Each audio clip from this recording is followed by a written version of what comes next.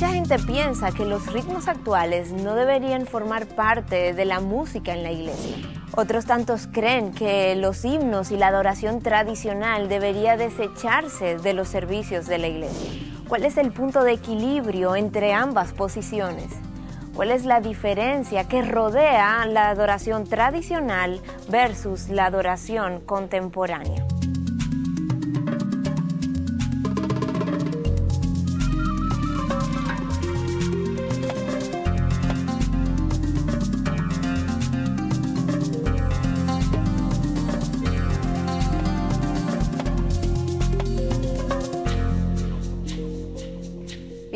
A nuestro cuarto programa sobre la adoración que es ofrecida a Dios. Tenemos ya varias semanas revisando los conceptos que giran en torno a este tema.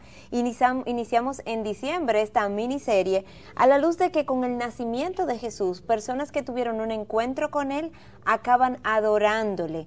Algo que no era extraño para el pueblo judío, que empieza su, su relación con Dios, adorando a Dios, desde los tiempos en que se encontraban en el desierto en el monte Sinaí cuando Moisés lo saca de Egipto.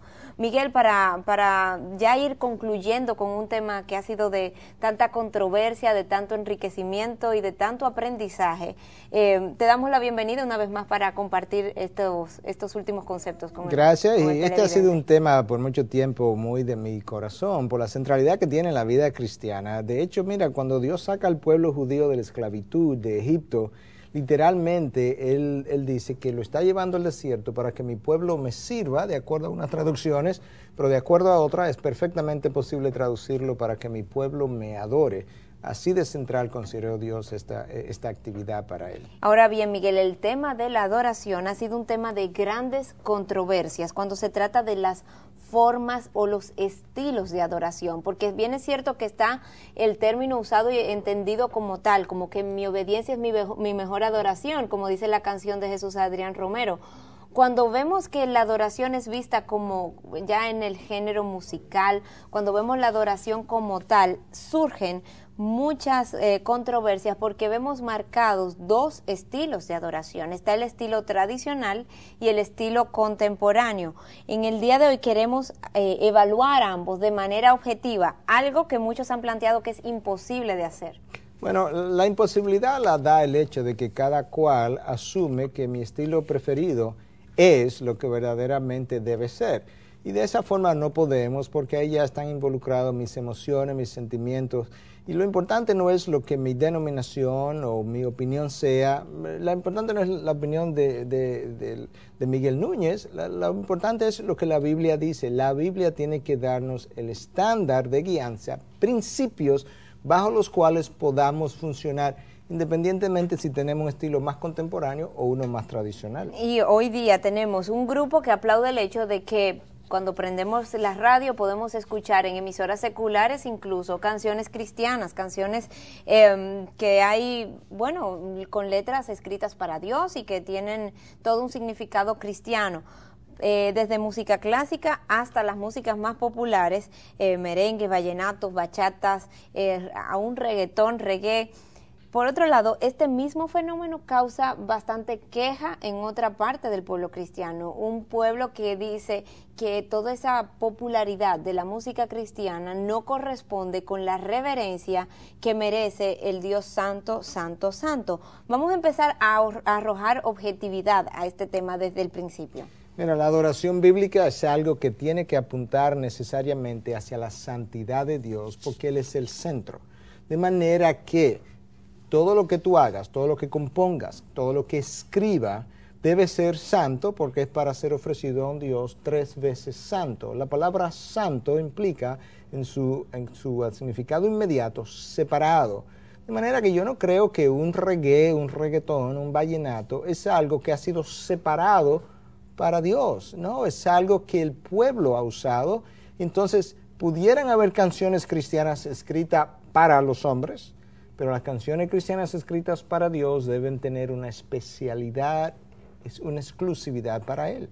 Pero Miguel, eh, para poder llegar a, componer y a poderle ministrar a Dios, muchos de los músicos no, no, han llegado a tener ese caminar con él y muy por el contrario lo que vemos es que en ocasiones estos músicos seculares se convierten y al convertirse, pues con sus talentos, con sus voces, quieren rendirle y darle a Dios de lo que han recibido. Lo hacen con los, los estilos con que están familiarizados, lo hacen con lo que conocen, con lo que tienen a la mano. Así como, por ejemplo, un vendedor de una tienda X, que era vendedor secular, se convierte y entiende que hay ciertos productos que tiene que sacar de su tienda, lo hace así y empieza a mantener su tienda, pero sin algunos productos. Estas personas lo que hacen es, estos músicos mantienen quizás su estilo, pero cambian la letra y ahora en vez de cantar letras que no aportan, bueno, pues entienden que poniendo Biblia, poniendo eh, sentimientos hacia Dios, pues están haciendo algo diferente. Mira, yo creo que hay algo que quizás ellos no han entendido, Patricia. Yo, yo oí un pastor recientemente revisar este punto y pensé que era un buen punto que él estaba tratando de establecer, algo bíblico. Es que, usando tu ilustración, el vendedor de zapatos, cuando él se convierte, no simplemente él necesita dejar de hacer lo deshonroso, que es sacar algunos productos, como tú dices, él necesita comenzar a hacer lo honroso. Es, una, es un doble llamado. Mira cómo este verso lo dice en Efesios 4:28. El que roba, no robe más.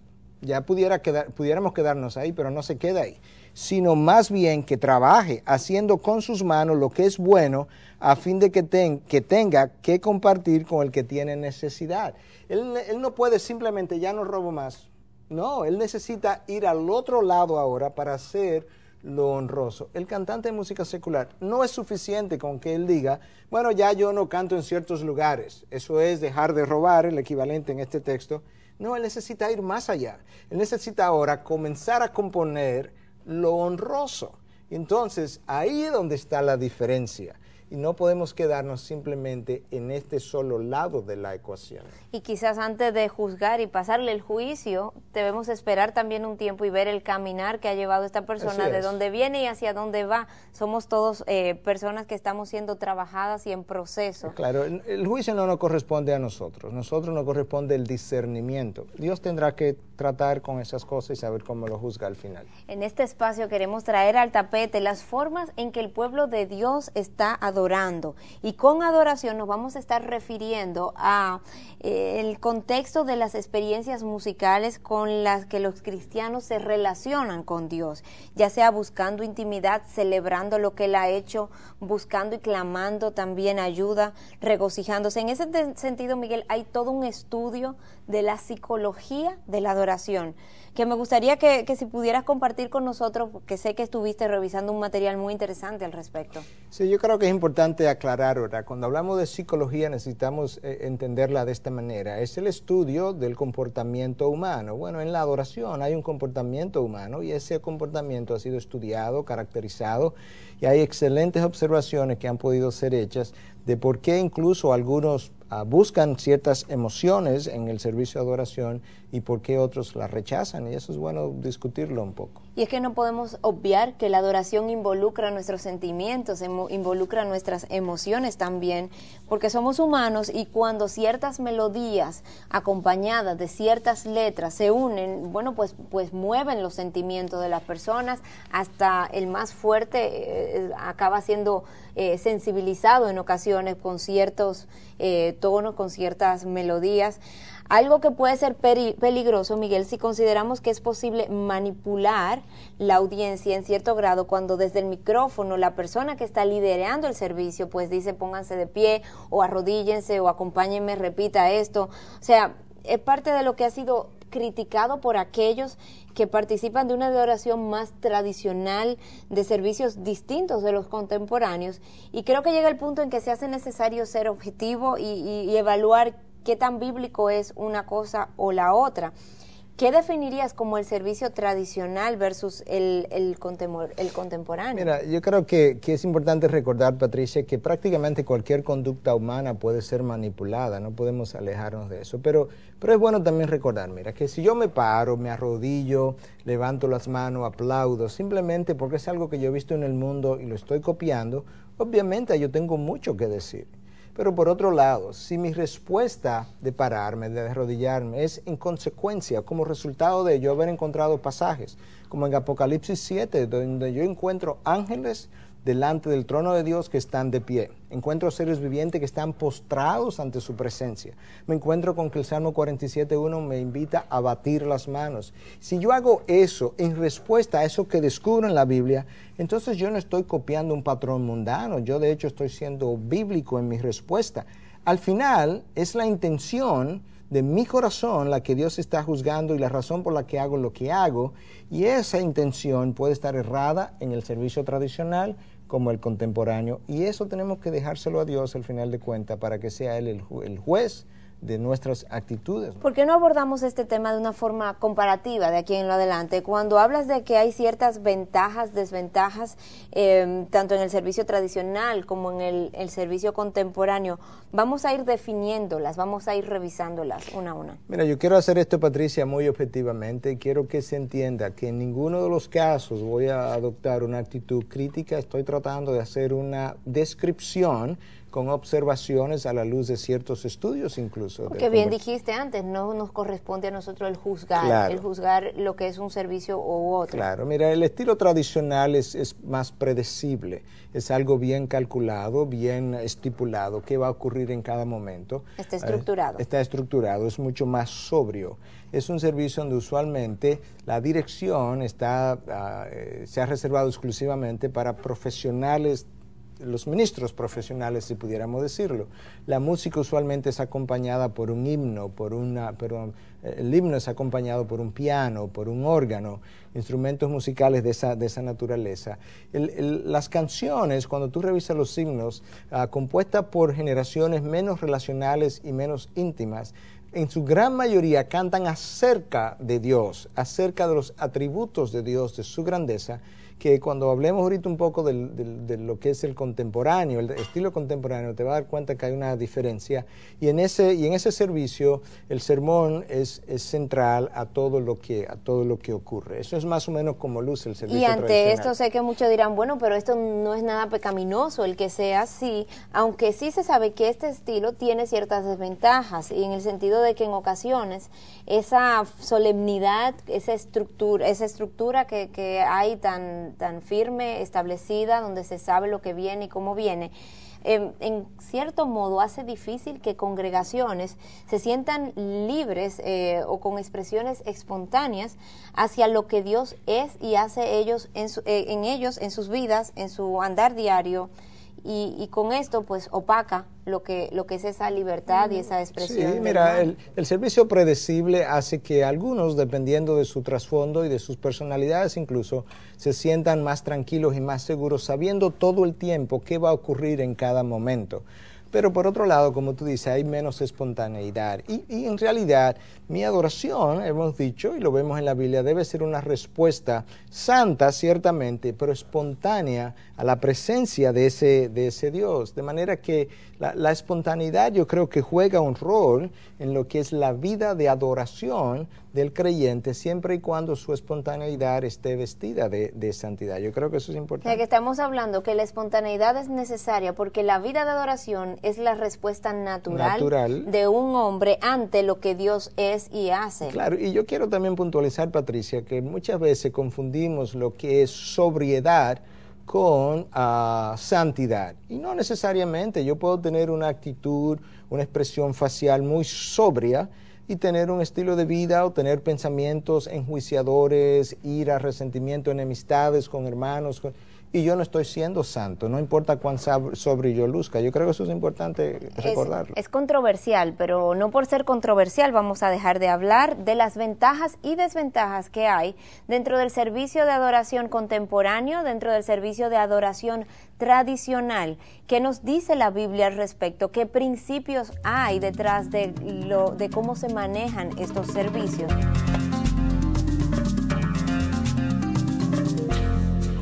Cuando hablamos del tema de la adoración a Dios, qué bueno es contar con la opinión de un cantante, ministro, compositor cristiano, que no solamente va a responder nuestras inquietudes, sino que va a explorar un poco el tema de la diferencia entre adoración contemporánea y adoración tradicional.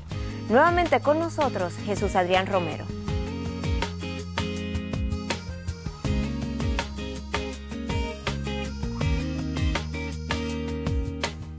Quiero perder las cosas que me quedan por hacer, las cosas que me quedan por vivir en ti. Y ya hablando de estilos, estilos de adoración, está el estilo tradicional, está el estilo contemporáneo de adoración. ¿Qué fortalezas, qué debilidades le ves a cada uno de estos? Mira, la, la adoración tradicional, yo diría que la fortaleza mm, definitivamente es el contenido tan rico que tiene de, teología, de verdad, de, Biblia, de, conocimiento acerca de las escrituras, sería la fortaleza. Una debilidad creo que tendría que ver con el estilo musical, un poquito más anticuado, tal vez las generaciones eh, modernas, los muchachos y muchachas no, se identificarían tanto con este tipo de, canciones, pero hay un gran tesoro en ellas por, el contenido, ¿no? Hablando de la música eh, contemporánea, creo que, es, lo opuesto, eh, aunque tienes a veces una gran riqueza musical, ah, variedad de ritmos, estilos musicales, a veces como que son un poco ligeras en su contenido, eh, no tienen tanta profundidad, no, no tienen tanta eh, Biblia o tanta doctrina.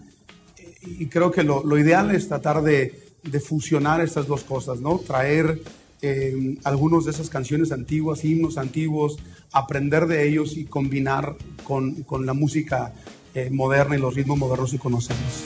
No tienes que buscar a nadie más, yo quiero ir. Aquí está mi tiempo, aquí están mis horas. Aquí estoy yo. Mi vida es para ti y en ti la quiero yo invertir. Aquí están mis manos, aquí está mi voz. Aquí estoy yo. Aquí estoy yo.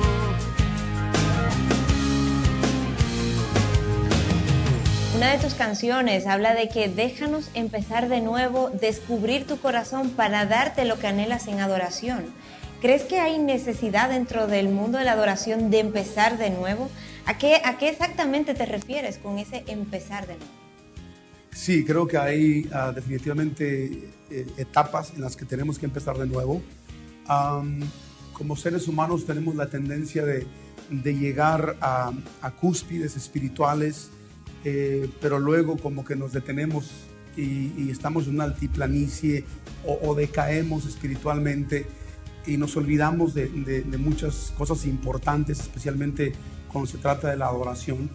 Y, creo que eh, de vez en cuando es necesario empezar de nuevo. Esa canción para mí era, era un tiempo en el que yo estaba diciendo, híjole, eh, estábamos viajando por toda Latinoamérica, eh, teniendo conciertos donde la gente estaba saltando y gritando y, danzando y dando gritos de júbilo, pero había una insatisfacción, una insatisfacción en mi corazón, como que yo decía, pues como que esta gente aprendió a saltar, aprendió a gritar, pero qué tanta verdad hay en su corazón. Entonces, esa canción surgió pensando en eso, ¿no? diciéndole al Señor, no nos permitas acostumbrarnos a, a, una manera de cantar, no nos permitas acostumbrarnos a un estilo de, de, adorar, eh, déjanos empezar otra vez, déjanos entender lo que es la adoración, déjanos eh, tocar tu corazón, déjanos conocer tu corazón para agradarte.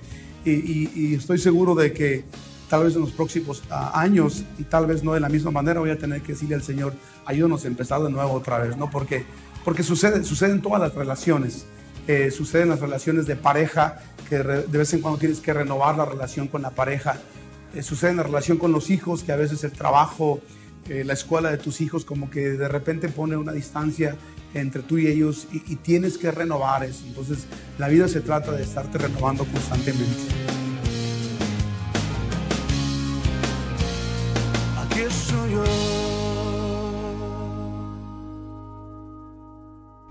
Empezamos nuestro análisis comparativo entre lo que es el servicio de adoración tradicional y el contemporáneo. Mencionábamos del servicio de adoración tradicional, que es estructurado, que es de orden, muy bíblico en ese sentido, porque Dios es un Dios de orden, nos dice la Biblia.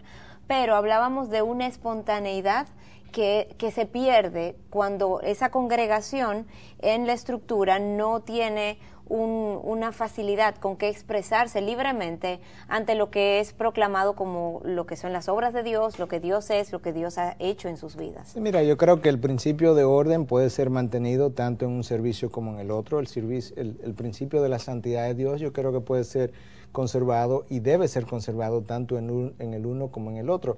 Yo creo que cuando comenzamos a revisar las desventajas de algo tradicional, tú comienzas a encontrar entonces que hay una generación, Patricia, nueva, que es una generación muy eh, relacional y que por tanto ah, quisiera relacionarse con Dios de una forma más íntima y no tenemos que perder el principio de santidad, de santidad. Por eso yo creo que eso es algo sumamente importante. Fíjate que muchas veces cuando tú revisas los himnos, esos himnos han sido compuestos con un lenguaje que a veces incluso ha caído en desuso. Hay palabras que yo mismo cuando las leo tengo que buscar en el diccionario su significado porque no las conozco, porque pertenecieron a otra, a otra generación. Yo puedo componer santamente con, una, con un lenguaje en el que la generación de hoy pueda entenderlo, relacionarse y poder encontrar esa intimidad con Dios sin perder la parte buena de lo tradicional, que es su orden y la santidad de Dios. Pero entendemos también que la adoración no debe hacerse buscando complacer al público o a la generación joven, al, buscando parecerse a las cosas que le son apetecibles y que le son atractivas a esa generación, como si Dios tuviera modas que cambian, ¿no? Porque eh, ahí puedo escuchar el grupo que dice Dios es el mismo ayer, hoy y siempre, y por tanto no tenemos que estar eh, buscando acomodarlo para que a la generación joven le guste. Claro que no, Patricia, pero mira, yo creo que tenemos que ser cuidadosos. Dios no cambia, pero lo- lo- lo- el, el servicio tradicional y los signos no los compuso Dios. No podemos equiparar la infalibilidad de la palabra de Dios con lo falible que es la composición del hombre. No estamos detrás de moda, pero el hombre y lo que él hace y compone sí cambia, porque es precisamente algo que viene del hombre. Entonces yo creo que hay que mantener ese balance. Nosotros estamos llamados a ministrarle precisamente a la generación presente. Yo no puedo perder esa generación y si bien es cierto que la adoración no puede buscar llenar lo que el público quiera, no es menos cierto que si encuentro en la Biblia formas de cómo llenar las necesidades de la generación de hoy, encontradas en la Biblia las formas, entonces yo tengo una responsabilidad que llenar ante esa generación de la cual Dios me va a pedir cuenta después. Si yo hice mi mejor esfuerzo con el entendimiento bíblico para llegarle con su enseñanza y su Y sabiduría. entiendes que hay principios bíblicos que se aplican a, a cómo llevar un mensaje con una forma contemporánea a esa generación Sí, actual. Claro que sí, nosotros tenemos principios y esos son los que tenemos. Hay que diferenciar los principios de las reglas. Los principios se mantienen y son básicamente de carácter eterno, la santidad de Dios, su majestad, el orden, todo eso. Pero las reglas, que son cosas que van de generación en generación, cambian. Quizás sería bueno comenzar a caracterizar el servicio contemporáneo. Sí, porque hasta ahora estamos viendo lo que es el tradicional. Vamos Claro. a entrar a revisar lo que es el contemporáneo. Claro, mira, tú encuentras, por ejemplo, que hay un mayor énfasis en la partic- más participación del creyente, algo que Martín Lutero enarboló, lo que era el sacerdocio de todos los creyentes. Eso es una de las ventajas. Otra de las, de las ventajas y características también, que hay una espontaneidad que es permitida, pero la po- espontaneidad puede mantenerse dentro de un orden y debe mantenerse dentro de un orden y marco de referencia bíblico. Tú tienes también que este servicio, ah, aparte de honrar a Dios, que es lo que debe hacer en Dios, la adoración hace algo en nosotros y, y debe entonces ayudarme, contribuir a acercarme, a tener intimidad con Dios. Una vez más, tú comparas, por ejemplo, un himno que a mí me encanta, que se llama Cuán grande es Él, y habla precisamente de cuán grande es Él, tercera persona. Cuando eso se compone hoy, usualmente no, no se compone de esa manera. Dice, tú eres grande, Dios. A una, uno le canta acerca de Dios, el otro le canta a Dios. Yo no he variado la santidad cuando canto acerca o le canto a Dios. Es la forma de la expresión. Y eso es lo que nosotros necesitamos entender. El, el la- el estilo contemporáneo tiene más coros, donde el, grupo de la congregación ah, se le facilita su participación. El otro tiene más himnos. Y entonces tú comienzas a ver algunas de las diferencias. Pero no dejamos de lado las desventajas que presenta este servicio, ya que la congregación, esa generación que que tiene más edad no se identifica, así como en el servicio tradicional la, la, la generación joven no se identifica con ese tipo de, canciones y de música, pues la, la, de mayor edad en el servicio contemporáneo no necesariamente se identifica con, con ciertos instrumentos aún que están ahí arriba. Y es fácil descuidar entonces, entienden ellos, esa reverencia de vida a quien es nuestra audiencia, que es Dios a final de cuentas. Definitivamente que sí, tenemos que ser sensibles eh, a Dios primero y luego obviamente ser sensible y, necesitamos llenar las necesidades espirituales, no las necesidades sentidas de la gente, las necesidades espirituales que Dios, con las cuales Dios nos creó. No hay duda que la adoración necesita honrar a Dios primero. Pero hay algo que la adoración hace en nosotros. Y la razón como yo sé eso, sin lugar a duda, es que Dios no necesita la adoración. Dios es autosuficiente. Dios, cuando yo le adoro o no le adoro, yo no mejoro a Dios con eso. Él sigue siendo igual. Eh, claro, Dios es perfecto. Él no necesita que yo le rinda tributo y Él no está más contento cuando yo le rindo tributo y menos contento cuando yo no se lo rindo, porque eso, eso ocurre en personas imperfectas. Y cuando hablamos de que una adoración debe complacer a Dios, buscar agradarle a Él. Claro, lo que agrada a Dios es precisamente cuando yo exalto su santidad, su majestad, pero sabes una cosa, Dios, si el mundo entero decidiera no adorarlo, Él sigue autosuficiente y autocomplacido en su perfección. Yo, yo, creo que es un concepto vital para que entendamos que Dios diseñó la adoración primero para su honra, pero para devolverle al hombre que se despegó de Él algo que Adán perdió cuando se despegó de Dios. Mira qué ocurre. Isaías tiene una experiencia de adoración descrita en el capítulo 6 de su libro Isaías. ¿Y qué es lo que él dice? En esa experiencia de adoración, su mente fue llenada con una apreciación por la santidad de Dios y la pecaminosidad del hombre. Su mente participó. Él, es llenado de un sentido de arrepentimiento cuando él dice, wow, ay de mí que estoy muerto. Su corazón participó, sus emociones participaron, pero no solamente eso, cuando él termina esa experiencia, él le dice a Dios, heme aquí, envíame a mí. Él ha sido preparado para ser enviado, su voluntad está preparada la adoración tiene que hacer eso, tiene que involucrar mi mente, tiene que involucrar mis emociones, Dios la creó, me las dio, tiene que involucrar mi corazón, tiene que preparar mi voluntad para el servicio. Todo lo que yo soy debe ser rendido a Dios. Eso es lo que debe ocurrir. Mucho se ha dicho y mucho se ha hecho acerca de la adoración contemporánea. Les invitamos a escuchar a John MacArthur respondiendo a la entrevista que le hiciera a Phil Johnson del ministerio Grace to You, Gracias a vosotros, donde tocaron un tema muy sugestivo, la adoración contemporánea, una guerra civil dentro de la iglesia.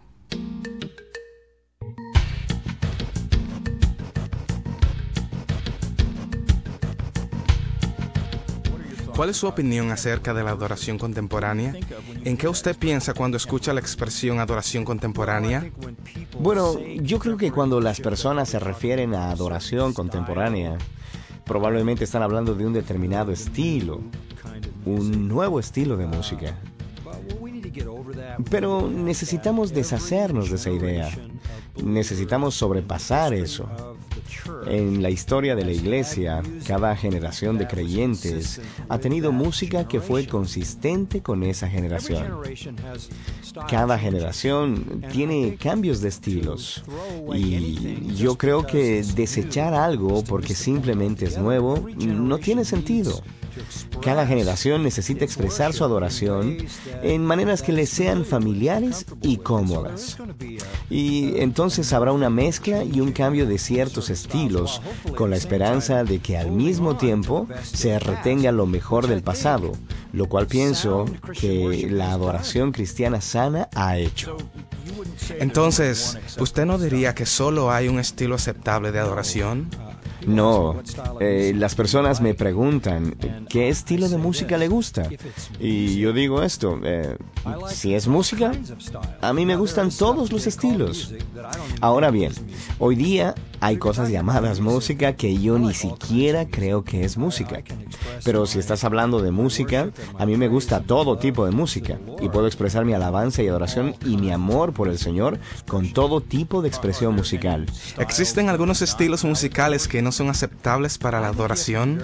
Yo creo que uno debe ser muy cuidadoso con la música la forma musical que está inseparablemente ligada a las expresiones básicas de una cultura. Yo no creo que podamos ir y llevarle honor al Señor con eso. Bueno, tal vez usted diría las palabras santifican la música. Eh, yo no lo creo. La música es el poder en la expresión. De ahí que sea musical. Yo creo que hay que ser muy cuidadosos de usar aquello que está asociado con el sexo y las drogas y las cosas moralmente indignas como vehículo para transmitir las verdades sagradas y santas acerca de Dios y la gloria de Cristo. Ahora, si escucho bien, usted parece estar diciendo que cuando se trata de música, el estilo es importante, pero lo que es más importante aún es el contenido. Absolutamente. Ante todo, el contenido es significativo y crucial. La música es una forma de transmitir información, es una forma de hacerlo en un sentido memorable para que las personas lo puedan escuchar, recordar y repetir. Y tenemos una responsabilidad de asegurarnos de que lo que están escuchando, recordando y repitiendo es la mejor representación de la verdad. Por eso es que el contenido es absolutamente crucial. Es allí donde comienza todo. Usted comienza con un contenido y ese es el tema más importante. Ese es el tema dominante.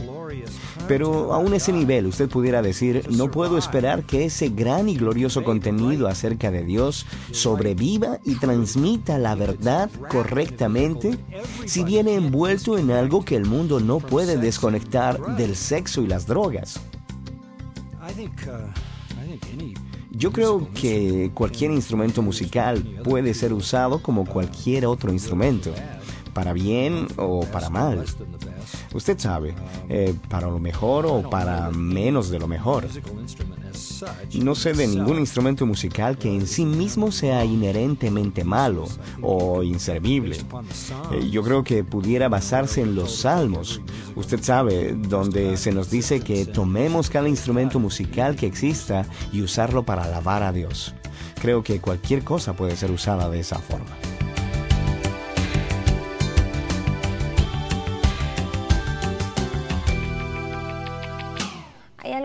Que se interpone en, el propósito de la adoración eh, bíblico y es el querer evangelizar a personas inconversas a través de la música cristiana. Y en un deseo de hacerla atractiva para el inconverso, entonces se ha caído en copiar muchas formas, estilos, música secular con letras salpicadas de principios de sabiduría bíblicos, etcétera. Mira, Patricia, yo creo que ahí hay un problema conceptual. Cuando tú tratas de usar la adoración ah, para llegarle a inconverso, en primer lugar, él no puede responder a la adoración de un Dios a quien él no conoce. Eso es lo primero. En segundo lugar, yo no puedo usar la adoración para evangelizar por razones bíblicas. Dios dice en su palabra que la fe viene por el oír y el oír por la palabra de Dios. Entonces, Ahora, si es, la palabra de Dios cantada. Entonces es otra cosa, porque entonces es la palabra que está haciendo su efecto. Pero recuerda una vez más que el foco de la adoración es Dios. E, eso por, por, un lado. Por otro lado, tú no puedes, cuando tú usas la adoración para evangelizar, tú estás usando la adoración. Y la adoración no se usa, se rinde. Entonces yo no puedo hacer de la adoración un uso. Un instrumento. Un instrumento. La adoración es algo que se rinde y se rinde a Dios. Y yo creo que entonces necesitamos ver qué es lo que Dios quiere hacer en esos momentos de adoración. Pero recuerda lo que decía, Dios quiere devolvernos la adoración mucho de lo que Adán perdió. Intimidad con Dios, cercanía, seguridad, paz, certidumbre, propósito, significado eso se obtiene en intimidad con Dios y eso es parte de lo que la adoración se supone que produzca en nosotros. En Dios el honor, en nosotros eso. En una ocasión, Miguel, te escuché decir que la adoración es un buen barómetro para medir cómo anda una congregación. ¿En qué sentido se, se ve esto? Bueno, puede ver de varias maneras. Yo creo que cuando tú tienes una adoración superficial, uh, chabacana, eso te habla del concepto que esa congregación tiene de Dios, un Dios pequeño, un Dios que no es tan santo como la Biblia dice. Cuando tienes una adoración de provista de vida, habla de que ese pueblo, aunque quizá bien intencionado, pero no está teniendo intimidad con Dios. Cuando tienes una adoración caótica, donde tú ves sillas caer y personas caerse y demás, está hablando entonces que ahí hay un fruto del espíritu que está faltando, que es el dominio propio. Y si falta el dominio propio, falta el, el fruto del espíritu, entonces el espíritu no está dirigiendo ese servicio, esa congregación. Yo creo que es un excelente barómetro de lo que está pasando. Muchas de las controversias, de las diferencias en los estilos de adoración se hacen evidentes cuando analizamos lo que han sido llamados los gestos simbólicos de la adoración. ¿Y de qué estamos hablando? Estamos hablando de aquellos, eh, de aquellas cosas como levantar las manos, arrodillarse, aplaudir, más allá de evaluar si tienen que estar presentes eh, como evidencia de que ha habido una verdadera adoración, sé que muchos cuestionan si son buenos en sí mismos, si son agradables a Dios, el que yo haga o deje de hacer, o si es más bien el hombre el que está necesitando eh, el uso de estos, de estos instrumentos, de estos gestos simbólicos, como una forma de dirigirse a Dios en adoración. Bueno, en primer lugar, los símbolos lo aprendemos de la Biblia. El, el símbolo tenemos que recordar que es algo que apunta a una realidad mayor. Claro que eso puede ser distorsionado, pero los símbolos nos ayudan a entender qué es lo que Dios ha hecho en nosotros, está haciendo. Los símbolos son manifestaciones externas, se supone que deben ser de realidades internas en, cuando hablamos de los gestos simbólicos. Un bautismo conforme a lo que la Biblia dice. Supone que ya eso pasó en tu vida y tú te sumerges en el agua y sales del agua. Eso es algo completamente externo que se supone que ya ocurrió en tu interior y sin embargo lo simbolizamos porque nos ayudan a visualizar qué ha pasado en mi vida, qué Dios ha hecho. Ese es el propósito. del Pero no podemos obviar las desventajas que hay en el uso de símbolos en medio de la adoración, en la adoración conjunta, cuando estamos con, con otras personas. Siendo la primera de estas desventajas que el adorador tiende a concentrarse en el símbolo y lo puede idolatrar y desviar el foco entonces de Dios. Y esta es la naturaleza humana. Con cuánta facilidad, Miguel, acabamos prestando más atención a, la- a los símbolos que a, a Dios, que es el que es digno de, de ser adorado. 100% de acuerdo, pero es lo mismo que ocurre en múltiples congregaciones que idolatran su pastor, ah, que ha tomado el lugar de Dios, y entonces por eso no, no cancelamos los pastores, porque ellos, porque hay ese riesgo. No, lo que tenemos que evitar los riesgos. No podemos votar el, el- el- el- ¿cómo se llama? Eh, Donde, donde bañamos los niños, el bañito, Ajá. el agua del bañito sucia no la podemos botar junto con el niño. Tenemos que botar el agua sucia y quedarnos con el niño. Yo creo que eso es una buena ejemplo. Hay que ser selectivo con aquellas cosas que desechamos y con que nos quedamos. La segunda desventaja, Miguel, en el uso de los símbolos, tiene que ver con que el adorador piensa que cuando llevo a cabo el símbolo ya acabé, ya estoy bien, ya cumplí y que si no lo llevo a cabo entonces no he tenido una verdadera experiencia de adoración. Como que si yo no levanto las manos, yo no he adorado. O si no vi que fulano se arrodilló, algo le pasa a él, él no ha tenido una experiencia de adoración. Estamos pendientes de qué hace, qué no hace, qué he hecho. O sea, más allá de lo que el otro está haciendo, si hice o no hice, me, me está definiendo esto como que tuve o no tuve una experiencia de adoración. Ah, una vez más, yo estoy 100% de acuerdo. Muchas personas entienden que la única forma de adorar es eh, o arrodillándose o levantando las manos. No, esas son maneras posibles de adorar que encontramos en la Biblia. Mira el Salmo 134, 2 y 3. Alzad vuestras manos al santuario y bendecir al Señor. Desde Sión te bendiga el Señor que hizo los cielos y las tierras. Esas manos levantadas de que hablan, los salmos muchas veces son símbolos de alabanza a Dios. En otras ocasiones, mira cómo tú lo encuentras en 1 de Timoteo 2.8. Por consiguiente quiero que en todo lugar los hombres oren levantando las manos santas sin ira de discusiones. Manos santa al orar. Eso nos habla a nosotros que eso es parte de una señal un símbolo de adoración. Míralo ahora en Salmo 119, 48. Levantaré mis manos a tus mandamientos, los cuales amo y meditaré en tus estatutos. Cuando levantamos las manos a los mandamientos de Dios, le estamos diciendo, Dios, yo te amo tanto y lo estoy expresando, te amo en tu ley, te amo en tu carácter, en tu persona. Son formas de nosotros expresar lo que sentimos. Y todo esto es cierto, Miguel, pero aunque una congregación puede que no tenga el uso, no haga uso de estos símbolos y la otra abuse de estos símbolos, no podemos obviar y olvidar una cosa que es bien cierta también. Levantar las manos sin levantar el corazón no nos sirve de nada, porque Dios mira y escudriña el corazón del adorador.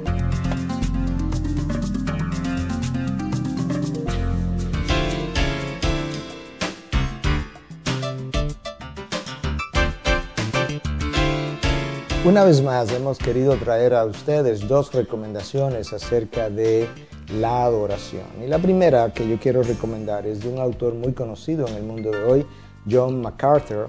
Ha escrito una obra, una vez más, no muy extensa, pero sí de, rico contenido y, muy pesado en cuanto a lo que nos expresa. La obra es titulada en inglés La última prioridad, que es la adoración precisamente. Aquí hay algunas de las cosas que que John MacArthur quiere ah, resaltar en esta obra. Lo primero es que la adoración es un estilo de vida. Lo segundo que él habla en su libro o menciona, discute, es que nosotros hemos sido salvos o salvados para adorar. Entonces habla un poco acerca de ah, cuál es el lugar de esa adoración en nuestras vidas. Yo creo que cuando alguien del peso, ¿verdad?, de John MacArthur, habla acerca de la adoración, muchos de nosotros queremos oír lo que él tiene que decir. Y interesantemente, en esta semana precisamente acababa de oír una entrevista que le hicieron acerca de lo que es el estilo tradicional de adoración versus el contemporáneo y cómo él decía que realmente los estilos de adoración o la definición de lo cual es el estilo apropiado no es un asunto bíblico porque la Biblia no lo define y que diferentes generaciones continuamente tendrán diferentes expresiones de esa adoración hacia Dios, que los principios que tenemos que cuidar independientemente del estilo usado o de la generación, ¿verdad? Tienen que ser los principios de santidad, de respeto hacia Dios, que sea algo que tenga belleza, que tenga melodía, que suene armónicamente y que salga de un corazón comprometido con honrar a Dios. A.W. Tozer escribió un libro llamado Whatever Happened to Worship, o qué es lo que ha pasado con la adoración. Yo creo de nuevo, ¿verdad?, que cuando alguien como Tozer escribe algo de este tipo, debemos prestar, atención. lo primero que, que, Tozer está tratando de, de, de, expresar, de discutir aquí es qué es la adoración en la iglesia cristiana, en la iglesia de hoy en día. Cómo esa adoración real, verdadera, demanda un nuevo nacimiento de parte de aquellos que han de ofrecer la adoración. Y un capítulo muy interesante es el capítulo número 3 de esta obra, que habla de que mucho de lo que es llamado adoración hoy en día no es adoración. Y cómo entonces el único Dios, el eterno Dios, es el único que debe ser considerado digno de ser adorado. Y habla entonces también hacia el final de la obra de cómo muchas veces la iglesia falla, fracasa en, ofrecer a Dios algo que a Dios le honre, algo que a Dios le agrade. Yo creo que el título solamente de la obra es, llamativo. ¿Qué es lo que ha pasado con la adoración? Como quien dice, ¿por qué es que no, no la vemos hoy? ¿Por qué no existe? ¿Por qué está fuera de las iglesias?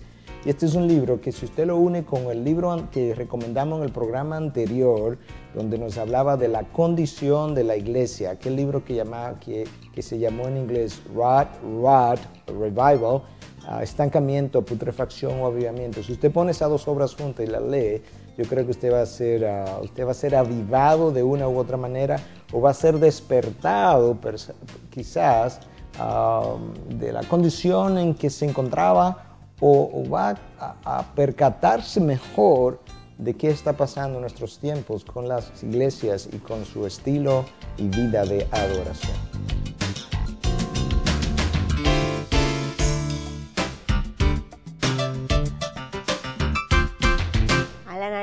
Los estilos de adoración, el estilo contemporáneo, el estilo de servicio de adoración tradicional. Hemos llegado a analizar lo que son los gestos simbólicos, los símbolos dentro de estos servicios.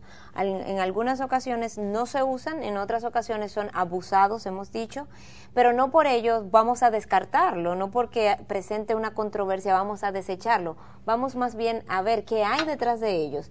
Y ya hablamos de lo que es el levantar las manos. Hay otro de estos símbolos y es el arrodillarse. El arrodillarse que es también muy común como una forma de expresar humillación, sumisión y que vemos a través de la Biblia como parte de la vida de Salomón, de, de David, de, Daniel, que se arrodillaba tres veces al día a adorar a su Dios. Y el mismo Jesús también se arrodilla en el huerto de Getsemaní. Todas estas eh, formas y manifestaciones, Miguel, fueron eh, vistas en personas extraordinarias. Creo que quizás alguien nos puede ver y decir, bueno, precisamente esto no me es natural. Yo de forma natural no me ando arrodillando. ¿Hasta qué punto eh, este cristiano puede pensar que si lo hace entonces sería como una hipocresía porque no le sale de forma natural el arrodillarse y más allá de preguntarse si eso está bien o mal, esta persona puede estar pensando, ¿debo yo como en frío hacerlo para, para saber qué se siente, cómo, si le agrada a Dios o no? Si lo va a hacer para saber qué se siente, si lo va a hacer porque alguien te dijo y tú no quieres parecer eh, huraño, extraño, si lo va a hacer para ganarte la aprobación de alguien, lo hiciste incorrectamente. Tiene que esperar que venga un sentimiento en yo su creo corazón que sí, para yo creo hacerlo. que recuerda que definimos la adoración como una respuesta natural del hombre de todo lo que él es a todo lo que Dios es. Entonces debe ser mi respuesta natural. Pero a veces lo que me es natural, lo que me han enseñado, y lo que me es extraño es lo que no me han enseñado. Entonces tenemos que también ser cuidadosos con eso. Pero miren algo, yo me puedo arrodillar con un corazón orgulloso y yo no me he arrodillado. Pero igualmente yo me puedo quedar parado y no solamente tener el corazón orgulloso. Mira qué pasa, Patricia, yo me quedo parado, estamos adorando tú y yo, tú te arrodillas, yo me quedo parado. Y resulta que yo comienzo a condenarte porque eso no son cosas que tú debes estar haciendo, eso no son formas bíblicas.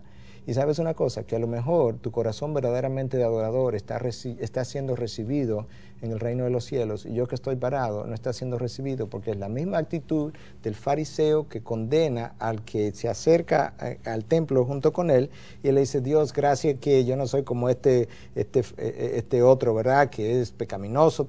El fariseo ni siquiera se atreve a levantar la cabeza y se está Eh, dando no, el golpe. pecador. El pecador, perdón, no se atreve ni siquiera a levantar la cabeza. Y a quien Dios recibe es al pecador humillado y no al fariseo que conocía toda la ley. Tenemos que ser cuidadosos entonces. Miguel, ¿qué nos dice eh, la palabra acerca de otras de estas expresiones, de otro símbolo que es la danza? Hay iglesias que en sus servicios tienen esta expresión y, y en su mayoría hay, hay iglesias que no lo tienen. Entonces, ¿cómo, ¿qué nos dice la Biblia acerca de- del uso de este recurso? Una vez más, si te, dieron un no rotundo, pues no estoy siendo bíblico porque la, la palabra habla de danza. La pregunta no es si sí o si no, la pregunta es cuándo. Yo creo que uno de los problemas que la danza presenta es su distracción. El servicio de adoración de lo que hacemos el domingo es un servicio que se supone debe estar centrado en Dios y mi foco debe estar en Dios. Yo he estado presente donde esas danzas se han usado y honestamente mi concentración ha estado bonita la danza incluso, pero ha estado enfocado en la ejecución de la misma y he apreciado, wow, qué bonito, mira esto. ¿Qué coordinado o qué descoordinado? Exacto, Exacto. entonces yo creo que es nos desenfoca. Sin embargo, mira, yo he estado en un par de ceremonias ah, eh, de, de bodas que no se han hecho en mi iglesia, pero me han invitado, y yo he ido a la recepción, al lugar de recepción, y en el lugar de recepción han hecho un par, dos o tres danzas ah, con líricas cristianas bonitas y han quedado muy hermosas. Es un momento festivo de celebración donde no nos estamos enfocando ahora en adorar, estamos celebrando lo que- en la recepción Conjuntamente. conjuntamente. Yo creo que todo es cuestión de su lugar y su forma y su intención. Miguel, a modo de conclusión, ¿cómo saber si verdaderamente hemos adorado a Dios o no? Bueno, yo creo que hay varias cosas que necesitamos preguntarnos, no importa si está en el estilo tradicional o si está en el estilo contemporáneo. Yo necesito al final de mi adoración preguntarme si yo he podido sentir la presencia manifiesta de Dios. No si vi a Dios ahí como que se me apareció. La presencia manifiesta, algo como que yo puedo decir, wow, verdaderamente Dios estuvo aquí. Yo, yo tengo que preguntarme, por otro lado, si yo he podido con los ojos de mi espíritu ver la grandeza de Dios. Ah, porque una de las cosas que la adoración debe hacer es exaltar esa grandeza. Yo tengo que preguntarme si en la adoración la santidad de Dios confrontó mi pecaminosidad, si yo pude experimentar gozo en la adoración, si después de haber sido confrontado, si mi voluntad ahora está mejor preparada incluso para recibir la predicación que viene después, producto de lo que la adoración hizo en mí. Yo necesito preguntarme de igual manera si mi interior fue conmovido, porque yo puedo tener una adoración y que no haga absolutamente nada en mí, pero lo que yo veo en el libro de Isaías es que cuando Dios descendió e hizo su presencia manifiesta, hasta los dinteles de las puertas se movieron, mi interior debe ser conmovido por este sentido de majestuosidad. Y finalmente, Patricia, yo creo que necesitamos eh, enviar una voz de alerta a, quienes nos oyen y quizás sería una buena cita terminar con, eh, eh, con estas palabras. Alguien escribía, decía, algunos piensan que han adorado a Dios si salen de sus iglesias los domingos en la mañana después de haber experimentado algunos sentimientos placenteros. Su objetivo en la adoración es autogratificación en vez de glorificación. El placer, en vez de la pureza, ha llegado a ser la prueba de la adoración, decía Sammy Teppet en su libro acerca de la adoración. Eso yo creo que necesitamos revisarlo continuamente.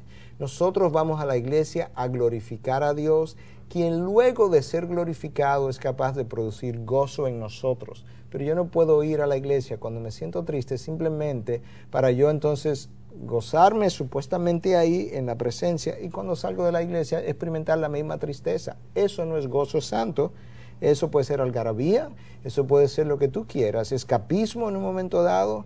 El gozo es algo que cuando yo lo experimento en la presencia de Dios, cuando yo salgo de esa congregación, continúa conmigo el lunes, el martes, el miércoles, el jueves. Yo creo que esos son algunos criterios para el estilo tradicional como el estilo contemporáneo. Porque bien es cierto que la presencia de Dios, hemos dicho, en el cristiano es constante. El cristiano es templo del Espíritu Santo. Y ahí está llamado a vivir una vida que le honre y le adore, haciendo lo que sea y donde sea, ya sea en una iglesia, en una congregación de estilo tradicional como si es de estilo contemporáneo. Así es. Miguel, muchísimas gracias por habernos ayudado a analizar este tema de tanto, de tan, bueno, tan sensible en ciertos puntos, ¿no? Gracias a ti, Patricia. Y para finalizar, y a manera de despedida, si le ofendimos, no ha sido nuestra intención, nunca es nuestra intención ofender a nadie, pero sabemos que son temas sensibles donde en ocasiones nos podemos sentir uh, ofendidos. Esa no es la intención. Permita que la palabra de Dios le revise y revise usted lo que entiende por adoración a la luz de la palabra y a la luz de lo que Dios pueda iluminar en su palabra. Yo creo que un buen llamado es que seamos conscientes de que toda nuestra vida está llamada a ser una vida de adoración a Dios. Amigos, con esta palabra nos despedimos. Hasta aquí llegamos en nuestro, nuestra serie sobre adoración. Recuerden nuestra página de internet donde puede conocer más acerca de la producción de este programa www.respuestastv.com .org. Será hasta la próxima. Pasen así muy buenas.